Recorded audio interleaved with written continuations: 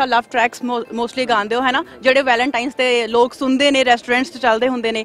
ਸੋ ਕੋਈ ਇੱਕ Valentine moment ਜਿਹੜੀ ਕਦੀ ਫੇਟ ਨਹੀਂ ਹੋਈ, ਕਿਸੇ ਕੁੜੀ ਨੇ ਪ੍ਰਪੋਜ਼ ਕੀਤਾ ਹੋਵੇ, ਤੁਸੀਂ ਕਿਸੇ ਨੂੰ ਕੁਝ ਆਪਣੇ ਦਿਲ ਦੀਆਂ ਫੀਲਿੰਗਸ ਦੱਸੀਆਂ ਜਿਹੜਾ ਮੇਰਾ ਪਹਿਲਾ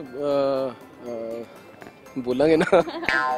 ਜਿਹੜਾ ਮੇਰਾ ਪਹਿਲਾ ਰਿਲੇਸ਼ਨ ਸੀਗਾ ਉਹ ਵੈਲੈਂਟਾਈਨ ਤੋਂ ਸ਼ੁਰੂ ਹੋਇਆ ਸੀ ਤੇ ਵੈਲੈਂਟਾਈਨ ਤੇ ਖਤਮ ਹੋਇਆ ਸੀ।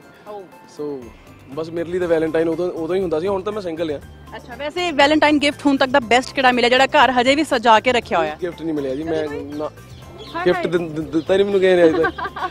ਚਲੋ ਆਈ ਵਿਸ਼ ਕਿ ਹੁਣ ਕਿਉਂਕਿ ਤੁਸੀਂ ਆ ਰਹੇ ਹੋ ਪਹਿਲੇ ਹੀ ਤੁਹਾਡੀ ਫੈਨ ਫੋਲੋਇੰਗ ਬਹੁਤ ਅੱਛੀ ਹੈ ਕੁੜੀਆਂ ਪਿਆਰ ਕਰਦੀਆਂ। ਸੋ ਮਿਲਨ ਸੋਨੇ ਸੋਨੇ ਗਿਫਟ ਕੁੜੀਆਂ ਸਾਰੇ ਹੀ ਕਰਦੇ ਆ, ਮੁੰਡੇ ਵੀ ਕਰਦੇ ਆ ਮਤਲਬ ਸਾਰੇ। ਮੁੰਡੇ ਯਾਰ ਵਾਲੀ ਟਾਈਪਸ ਹੋ ਗਏ ਨਾ। ਕੁੜੀਆਂ ਦਾ ਕ੍ਰਸ਼ ਥੋੜਾ ਦੂਸਰੀ ਤਰ੍ਹਾਂ ਦਾ ਹੁੰਦਾ ਹੈ ਗਾਣੇ ਸੁਣ ਕੇ ਫੀਲ ਕਰਦੀਆਂ ਨੇ ਤੁਹਾ- ਤੁਹਾਨੂੰ ਅੱਛਾ ਸਮਝਦੀਆਂ ਨੇ। ਤੁਹਾਨੂੰ ਜ਼ਿਆਦਾ ਪਤਾ ਹੋਊ ਮੈਨੂੰ ਮੈਨੂੰ ਇਹਨਾਂ